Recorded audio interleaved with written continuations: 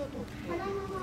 パンダラグ一日の中でも最も混雑するアジカンですまたパンダの表現は場所に限りがございます正面でお写真撮ることができましたら次のお客様へと場所をお譲りください屋外運動場カメラの撮影は必ずフラッシュをオフにして撮影のご協力お願いいたします。屋内観覧エリア列はございません空いているスペースご自由